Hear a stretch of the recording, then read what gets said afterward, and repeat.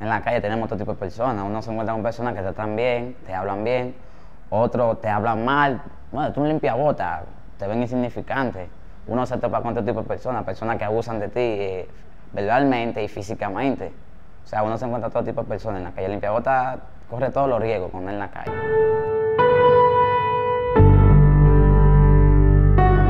Mi nombre es Juan Antonio Félix Cepeda y voy a contarle mi experiencia con la Fundación La Merced. Todo empezó apenas cuando tenía 12 años. Un compañero de trabajo, digo compañero de trabajo porque para nosotros limpiar zapatos era un trabajo, me habló sobre una señora que daba unos tickets para pasar al final de año a recoger una fundita con ropa. Procedimos con, buscar el ticket ya que todos los limpiabotas no lo hacían. Luego la señora nos habló sobre Tomás y sobre la Fundación La Merced. Comenzamos a asistir un grupo de muchachos a la fundación, otros tomaban muy en serio, otros, algunos hacían como una chelcha. Pero yo lo tomé muy en serio, ya que vi en esta persona la, intención de ayudarnos sin ningún beneficio alguno. Mediante la fundación recibíamos, varios cursos, entre ellos tapicería, curso de pintura y, costura. Luego apareció una empresa llamada Marítima Dominicana, la cual ofreció darnos varios cursos, entre ellos mecánica, soldadura y refrigeración. Dije, bueno, esta es mi oportunidad y me destaqué en el curso de refrigeración. La empresa, al ver que me destaqué, me contrató en el área técnica. Duré dos años como técnico de refrigeración. Luego fui trasladado a la parte administrativa, después que empecé a estudiar ingeniería mecánica en la Universidad de UTESA. En realidad, vamos a decir que yo corrí con suerte Dios estaba conmigo. Yo no duré tanto limpiando zapatos porque me, encontré con la fundación y uno de los objetivos de la fundación es eliminar eso. Yo no, no, no te permiten ser de la fundación y estar limpiando zapatos. O sea, yo duré como dos o tres años limpiando zapatos. Luego que entré a la fundación, ya dejé de limpiar zapatos. Pero limpiar zapatos es un poco incómodo, porque uno tiene, no, no tiene que llevar una, cantidad de dinero exacto. O sea, tú sales a limpiar y lo que tú consigues, eso tú llevas, porque uno trata de conseguir mucho, claro, pero lo que uno consigue, eso uno lleva. Eh, el limpiabotas pasa mucha lucha. Los días lluviosos la gente no limpia zapatos porque entiende que se va a ensuciar de nuevo. Entonces esos días eran unos días pesados.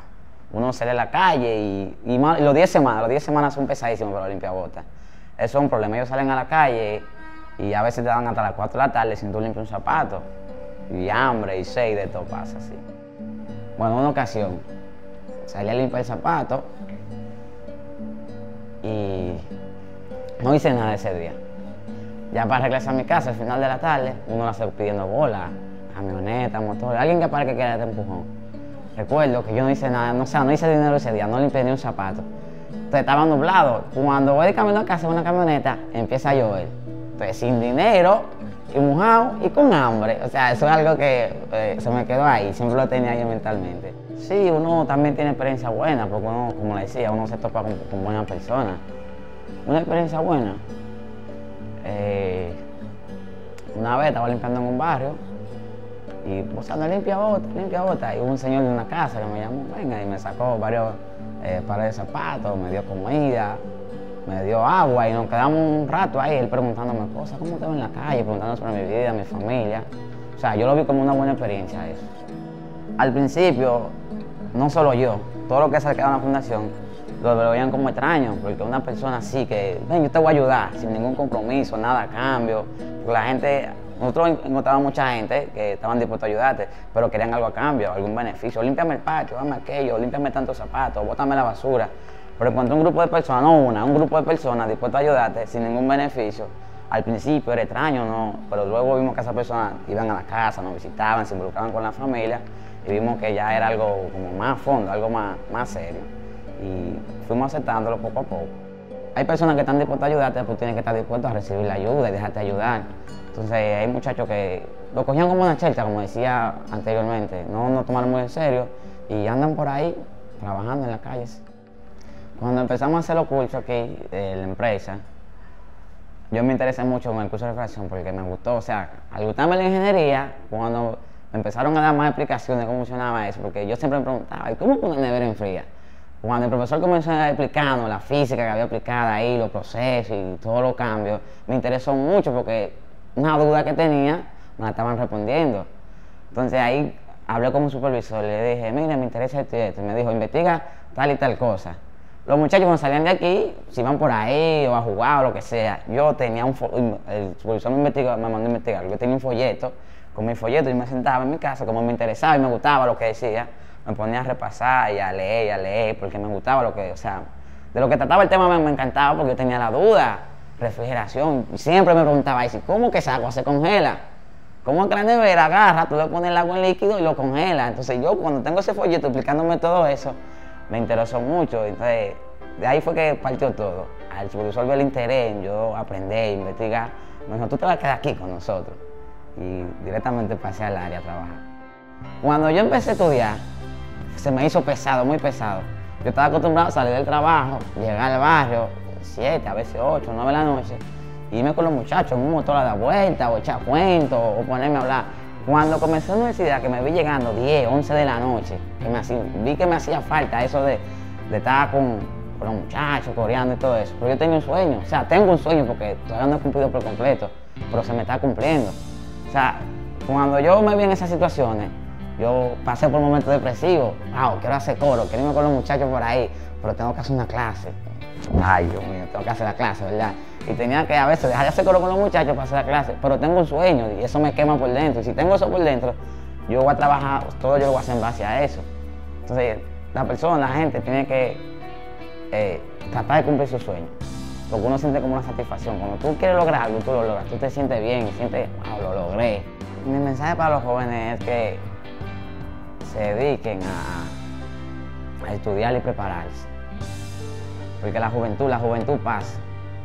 Luego llega una edad más madura, llegan las responsabilidades. Y si tú no tienes cómo afrontar todo eso, usted va a ser, vamos a decir, alguien más, vamos a decir, como, como dicen en el mundo, vamos a, lo real, a la realidad, sin, pintarle la cosa, usted va a ser uno más. Pero el joven, esta es la mejor, esta es la mejor, la mejor edad, la mejor etapa para uno aprender. A, este, a esta edad uno aprende mucho, la mente está abierta, el cerebro capta todo, todo. Y tú tratas de guardar lo más importante. Mi, mi consejo para los jóvenes es eso, que aprovechen que están en la juventud, que se preparen, que estudien para que puedan tener un buen futuro. Tienen que saber que todo parte de un esfuerzo. Que si quieres conseguir algo, debes esforzarte. Eh, a mí me gusta leer, yo leo mucho y en lo que yo leo yo siempre veo que todo el que quiere algo, primero tiene que esforzarse. Dedicarse a eso y, esforzarse para poder conseguirlo. Nada se consigue así de la nada, ay, lo logré ya, no. Si te gusta una carrera, quieres ingeniero, quieres esto, tienes que estudiar, o sea, esforzarte. Si tienes que trabajar en el día, estudiar de noche, hazlo, porque todo, todo es un esfuerzo. El que quiere conseguir algo debe de esforzarse. Yo en esta empresa quiero ir escalando poco a poco. Porque antes yo decía, no, un trabajo, ya, tranquilo. Pero después que tú tienes trabajo, tú quieres seguir creciendo, porque tú estás con gente que constantemente están creciendo. Tú, tú también quieres crecer. Entonces yo digo, bueno, yo, yo estoy en este puesto ahora, pero yo estoy estudiando porque quiero estar puesto y, puedo motivar a mi compañero, a alguien conocido, mira, este está el curso que yo te voy a ayudar, o puedo conseguirte un empleo y cosas así. Ya uno cambia la forma de pensar. O sea, con el tiempo uno va cambiando, o sea, como le dije anteriormente, dependiendo de quién te rodeen y los valores que tú tengas, tú vas cambiando la forma de pensar. La vida cambia para uno. Mi madre, mi madre es cristiana. Desde que nací, ella siempre ha tratado de, darme los valores cristianos. Siempre ha tratado de que yo esté cerca de Dios, crea en Dios me puso los valores de llorar antes de dormir, eh, por la mañana también. Y gracias a eso yo siempre creo en Dios, he tenido fe en Dios. Cuando quiero algo, primeramente lo pido a Dios. Le digo, Dios, mira, quiero que pase esto y esto, ayúdame por favor. Si me falta disciplina, dámela. Si tengo que hacer esto, ayúdame. Y siempre he tratado de, mantener como esa relación con Dios.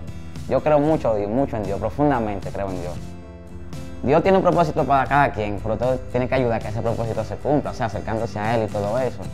Soy una persona que trata de orar y de mantenerse cerca de Dios, porque yo entiendo que Dios tiene el control de todo.